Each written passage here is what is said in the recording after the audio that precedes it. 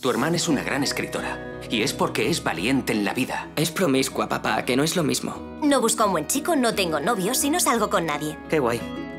Ha estado espiando a mamá. ¿Espiando a mamá? Ya sé que quieres a Erika, pero volvió a casarse con otro.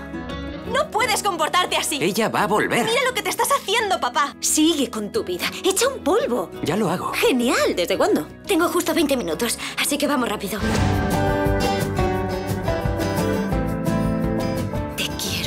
Muchísimo. Gracias. He aceptado su odio hacia mí como una fase pasajera, pero está claro que no lo es. No quiero sufrir.